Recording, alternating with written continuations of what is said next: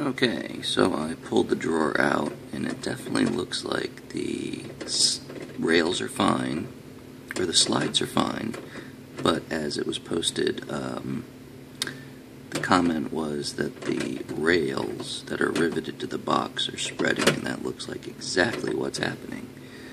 So what we'll do is we will um, unload some of these drawers, squeeze them back together, and then I think I'm going to shadow box this thing and, you know, reduce the weight. So we'll see. Thanks for watching. Take care.